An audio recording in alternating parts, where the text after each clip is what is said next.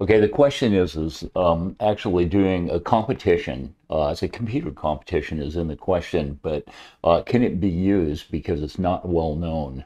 And that really doesn't apply in your application. It doesn't matter if it's well known or not. If uh, what we're really looking for in applications, especially in personal statements and interviews, is if you're really interested in a topic, enthusiastic about a topic, and if you participated in a competition, like a national computer competition, that definitely is going to apply. Um, it really it doesn't matter at all in the question whether it's a well-known or uh, prestigious uh, competition. It's just that you're enthusiastic in participating in a topic you're interested in.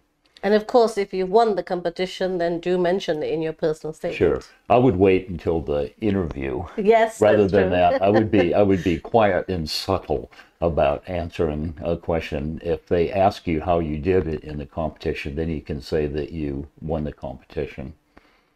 I'd say taking part in a national computer competition is very good evidence. It's a good opportunity to show that you've taken things beyond the classroom. I would also say that preparing for this computer competition and the things that you will learn when you're making sure that you're ready for this competition will be really useful for you, not just as evidence that you've done um, this competition, but they will be really good and you will learn new things which will make you a better student, which is also really important. And just to add to that, I would say taking part in any competitions related to maths is also very useful uh, for those students applying for computer science.